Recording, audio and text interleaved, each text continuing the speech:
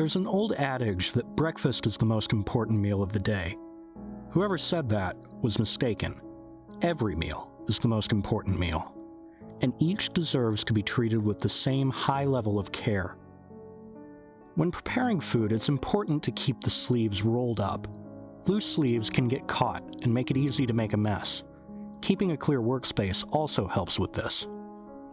Of course, it's always necessary to wash your hands before cooking, because you don't want to get any bacteria into your food. I like to use soaps with tea tree oil in them rather than parabens, since they can harm your metabolism. I start by preparing the dough using fresh yeast, warm filtered water, Himalayan salt, and pastry flour and extra virgin olive oil I had imported from estates in Sicily. I also add a little muscovado sugar to tenderize the dough and give it some added nutrients. I then place it in the refrigerator and leave it to rise and chill for two full hours before I knead and shape it.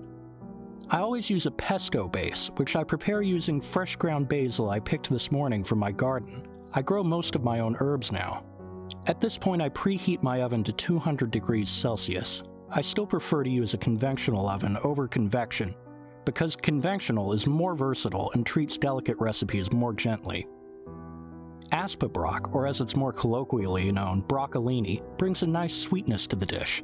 I had to get up early to get to the local farmer's market on the edge of town, but it's worth it because their produce is always fresher. Once I've sliced up the stalks, I blanch the heads with salted water to make them tender, then add in my silver beet at the last minute to let the flavors absorb. Then I drain them and toss them with fresh crushed garlic and lemon zest for some extra flavor. I start with the pesto base, then evenly distribute the diced Aspabroc stalks over it before I add the cheese. Most people use mozzarella or parmesan or some kind of pre-made blend, but I find that a sheep's milk pecorino romano has a bolder, more robust flavor.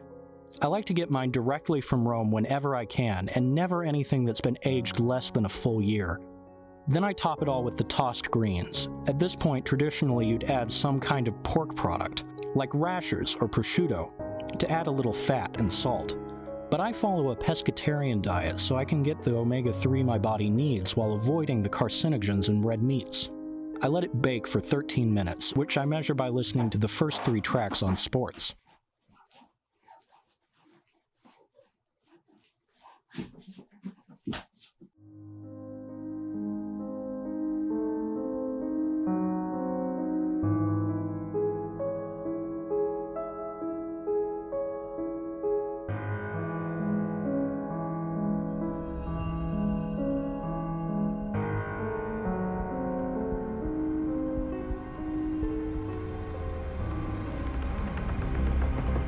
Yes, and can I get that with extra cheese? Mm-hmm. Not today, thanks. Sorry, how long did you say?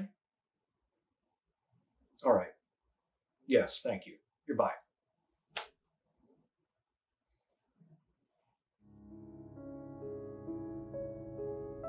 There is an idea of pizza in America, some kind of abstraction, but it is not really pizza, only an approximation something illusory.